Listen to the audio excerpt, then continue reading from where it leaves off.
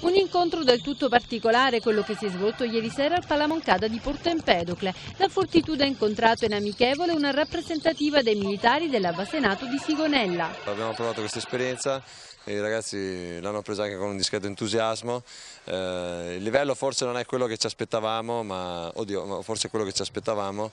Eh, però è comunque un momento anche in cui un attimo distrarsi, fare qualcosa di diverso, eh, secondo me è simpatica, è carina. Ma una partita sicuramente che ha fornito un basso contenuto tecnico per quello che riguarda il livello del nostro campionato, era sicuramente inferiore. A noi all'ultimo momento abbiamo avuto la necessità di organizzare un amichevole per poter inserire Castelli un po' nei nostri meccanismi, visto che domenica dovrà giocare Reggio Calabria e i giorni non sono molti, per cui ecco, abbiamo provato questa strada, non ci aspettavamo molto più di questo, però ci è servita se non altro per farlo entrare un po' in sintonia, farlo entrare un po' nelle abitudini tecniche della squadra squadra. Riccardo Castelli, classe 1988, alto 2 metri, originario della provincia di Cuneo. Castelli arriva a pochi giorni dall'infortunio rimediato dall'argentino Albano Chiarastella, che rimarrà fuori dal parquet per almeno altri 20 giorni.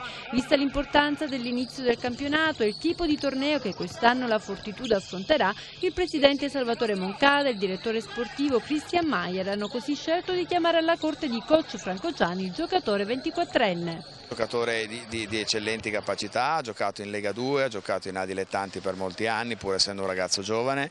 E chiaramente oggi è in difficoltà perché nel giro di 24 ore ha dovuto assimilare schemi nuovi, regole difensive nuove, situazioni a cui non è abituato e quindi ogni tanto magari ha dei passaggi eh, dove è meno pronto o meno, eh, ha meno familiarità con le cose che fa, però sicuramente ha grande atletismo, ha pericolosità perimetrale, è un giocatore abbastanza completo, direi che noi abbiamo tratto indicazioni positive e dovremo aspettarlo però insomma, almeno un paio di settimane perché possa dare quello che è nelle sue corde. Un bel risultato ieri sera, quello della squadra agrigentina che ha vinto nettamente sulla squadra ospite, anche se in realtà quello che conta non è il risultato tecnico, bensì l'aver messo in luce ancora una volta i valori sani dello sport e dell'amicizia. Well,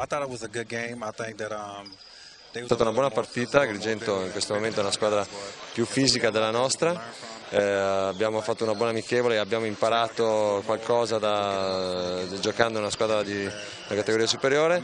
Eh, speriamo di migliorare anche se io eh, in questa partita non ho avuto a disposizione i miei, i miei pivot ma, e speriamo anche di fare qualche altra amichevole con Agrigento in modo da migliorare ancora di più il nostro bagaglio.